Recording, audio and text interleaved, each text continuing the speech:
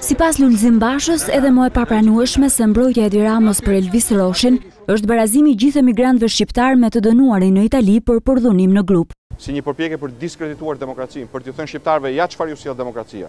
Rosh, Bush, Bardh, Preng, Ndok, Kokëdhim dhe tregon qartë se largimi i Elvis Roshit është tërësisht i pamjaftueshëm sa kohë që arkitekti i kriminalizimit të politikës, jo vetëm nuk shfaq pendesë, por vazhdon ta mbrojë e promovojë krimin deri aty sa të barazojë një njeri të akuzuar e të dënuar për përdhunim në grup, të akuzuar e të dënuar për trafik droge, e të thotë ky është modeli i shqiptarëve në emigracion, nuk është ky modeli i shqiptarëve në emigracion, nuk është ky modeli i shqiptarëve kudo që janë.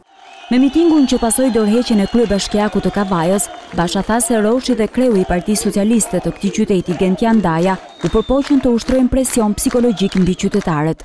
Elvis Roshi i dënuar për drogë, kryetari i PS-së i dënuar për drogë, dy njerëz që mobilizojnë, përpiqen të mobilizojnë me forcë për të mbrojtur çfarë? Krimin Kavajë. Elvis Roshi u hoqi Kavajën si bastion demokratëve, duke u marrë për dy mandate bashkinë. Tani ajo pritet të shkojë në zgjedhje.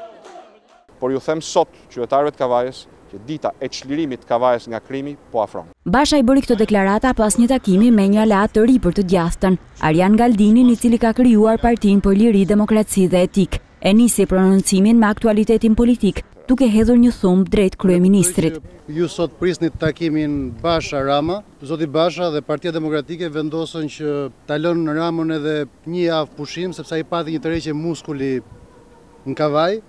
Situata në kontekst të dekriminalizimit vijoi me të, ndërsa u pyet se pse e ka ndryshuar mbiemrin. Unë jam Arjan Saliaj, i biri i Pllumbit dhe i Teutës.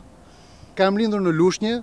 Mbiemrin e kam ndryshuar dhe e kam marrë Galdini. Shenjat e gishtave i lashë tek zoti Basha, të jeni të sigurt. I lashë shenjat e gishtave dhe në ambasadën amerikane dhe në ambasadën britanike, ku kam marrë vizat aty.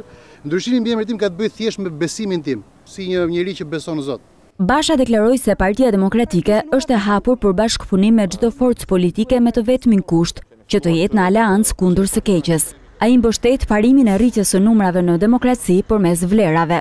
Dhe padyshim vlera do të diktojë dhe numrat, sepse demokracia është numra, por demokracia e vërtetë nuk është ajo e numrave të korrupsionit dhe të krimit, po është numrave, është demokracia e numrave që bashkohen rreth vlerave.